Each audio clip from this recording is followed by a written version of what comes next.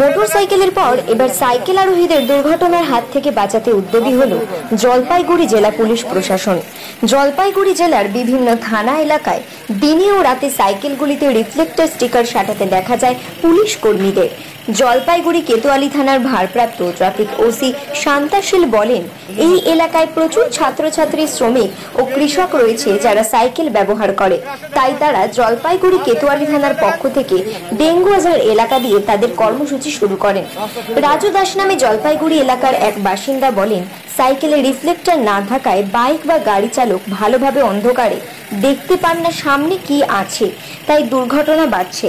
এই পরিস্থিতি বিশ্লেষণ করে পুলিশ নিজের উদ্যোগে সাইকেলে রিফ্লেক্টর লাগায়।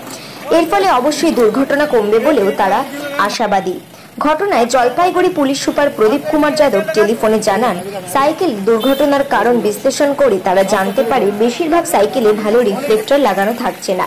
তাই জেলার সমস্ত থানাকে নির্দেশ দেওয়া হয়েছে, এখন থেকে সমস্ত সাইকেলগুলিতে স্টিকার লাগাতে হবে। তারা বিনামূল্যে এই স্টিকার লাগাবে। গতকাল থেকেই তারা তাদের কর্মসূচি শুরু করেছে। দুপুর পর্যন্ত জলপাইগুড়ি জেলায় তিন শতাধিক সাইকেলে স্টিকার লাগানো হয়েছে বলেও জানান তিনি। এই অভিযানের পর শহরের বিভিন্ন এলাকায় সাইকেল আরোহীরা নিজ নিজ সাইকেলে রিফ্লেক্টর লাগানোর ক্ষেত্রে স্বতঃপ্রণোদিত হয়ে এগিয়ে এসছেন বিশেষ করে ছাত্রছাত্রীদেরও দেখা গিয়েছে এগিয়ে আসতে। জলপাইগুড়ি থেকে অরুণ কুমারের রিপোর্ট, খবরের দুনিয়া।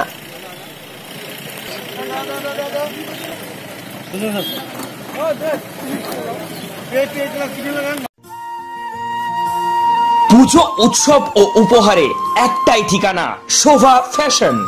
Smart, modern, exclusive কালেকশনের বিপুল সম্ভার। সম্পূর্ণ শীততাপ নিয়ন্ত্রিত একটাই ঠিকানা, শোভা ফ্যাশন। নেতাজি স্ট্যাচুর পাশে মীরাবাজার, পলাশী, নদিয়া।